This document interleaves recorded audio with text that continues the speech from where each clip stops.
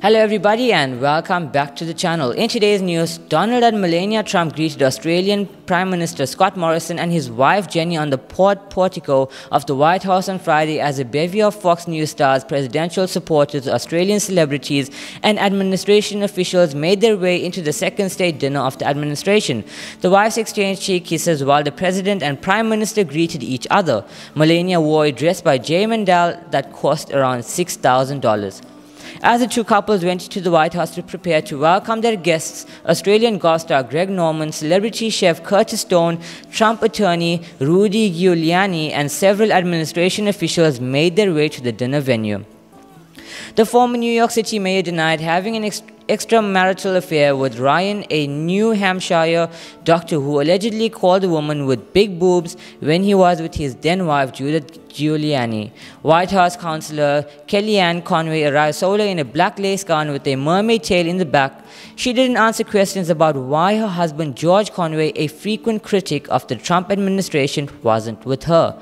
Norman, the retired Australian golfer, said he hadn't golfed with Trump, his longtime buddy and golfing partner recently, but he was talking to the president about coming to Australia in January to see Tiger Woods play in the President's Cup. As he shrugged off criticism that the president gets for golfing most weekends. Nobody can golf too much, he said. Lachlan Murdoch, the son of Australian media magnate and founder of Fox News Rupert Murdoch, arrived with his wife but ignored questions about his father's health. Making their state dinner debut was Trump advisor Stephen Miller and his girlfriend Katie Waldman, who walked through the formal entrance together arm in arm. They didn't answer questions, and Waldman shyly lowered her head to the crowd. The guest list was heavy on Trump administration officials and guests of the Australian embassy. Australian chef Curtis Stone, a former contestant on Trump's Celebrity Apprentice, was there, his, was there with his wife, actress Lindsay Price. Fox stars and frequent Trump supporters Maria Bartiromo and Lou Dobbs joined guests for the state dinner held in the Rose Garden under a starry Washington, D.C. night. Acting White House Chief of Staff Mickey Mulvaney and Trump advisor Dan Scavino walked the red carpet other together, waving to the crowd of reporters and laughing off their joint appearance. New White House Press Secretary Stephanie Grisham, in a black and white dress, arrived with her boyfriend Max Miller. And also attending is the president's new National Security Advisor Robert O'Brien. He wasn't talking business though, saying there was no updates tonight on reports the US was expanding its military presence in Iran, but, the, but he did say after his first week on the job, it's been wonderful. Senator Joe Manchin, who is working on baptism gun background check legislation, had no update but said he is working on it every day. Notably, not in the crowd were any of the president's children. Ivanka Trump was in Rome for a wedding while Donald Trump Jr. and Eric Trump live in New York. Tiffany Trump attends Georgetown Law School in Washington, D.C.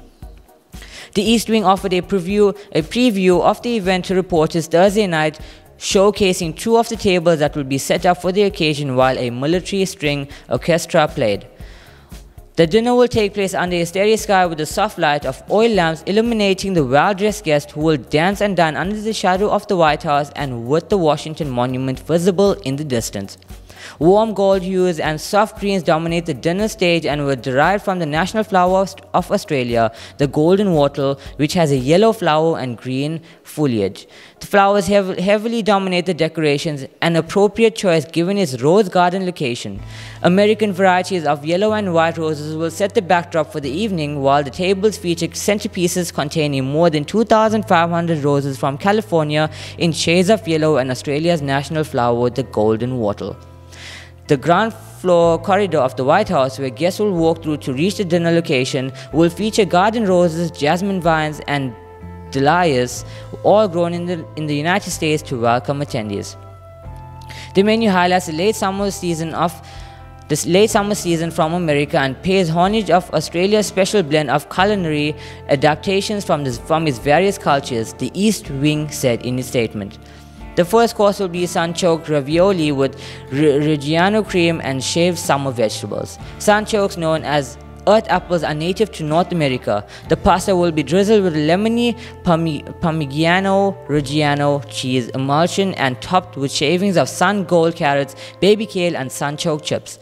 The main course will dover sole roasted whole, then filleted and scented with fennel mousseline. Accompanying it will be green and yellow summer squash blossoms, which will be picked Thursday.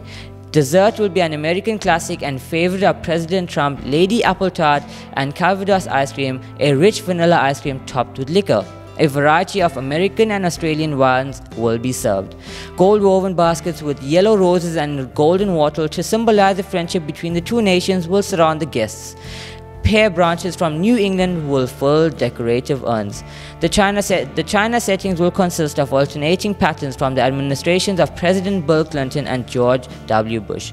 Melania Trump chose a table setting and, and decor that will reflect the strong ties between the United States and Australia, according to her office. Musical groups from the United States Army, Marine Corps, Navy, and Air Force will entertain the guests.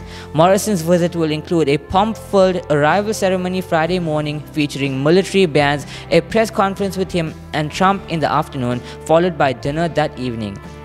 The morning arrival ceremony will feature nearly 500 members of the United States Armed Force from the five military branches for a review of the troops.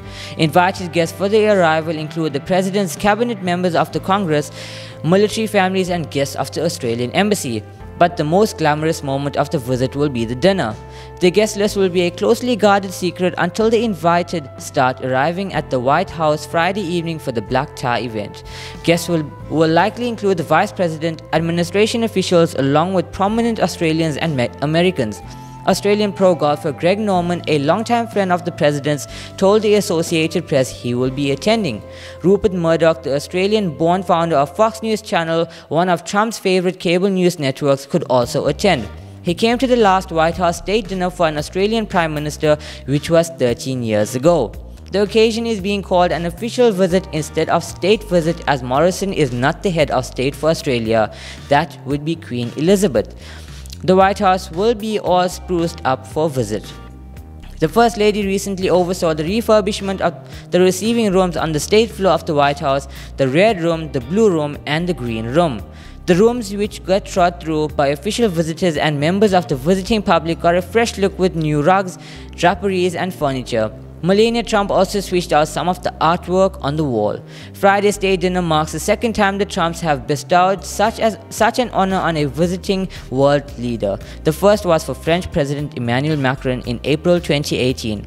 In the first 24 months in office, President Barack Obama held three state dinners, President George W. Bush held two state dinners and President Bill Clinton held one state dinner, according to the White House Historical Association. The last time Australia was honored was on May 16, 2006, when George W. Bush hosted Prime Minister John Howard. A state dinner usually conveys a unique bond between the two countries. Macron was one of the first European leaders to embrace Trump's presidency. Australia was, has pushed its close ties to the United States. After the 2016 election, then Prime Minister Malcolm Turnbull was the second world leader to call the congr- to and congratulate Trump after getting his cell phone number from Norman. Norman lives in Florida and grew close to President, to President Trump over their shared love of golf. Meanwhile, Trump and Morrison spent time together at the June G20 meeting in Osaka, Japan, and a G7 meeting last month in, Bia- in Biarritz, France. Additionally, the president was bonded with the Australian ambassador to the US over a game of golf at Mar-a-Lago. At the G20, Morrison invited Trump to President's Cup golf tournament in Melbourne, which takes place from December 12 to 15. The US team will be captained by golf champion Tiger Woods, whom Trump awarded the Presidential Medal of Freedom in May 2019. I'd like to, Trump responded when asked if he'd be there. That is it for today's news, guys. Thank you so much for watching. Goodbye.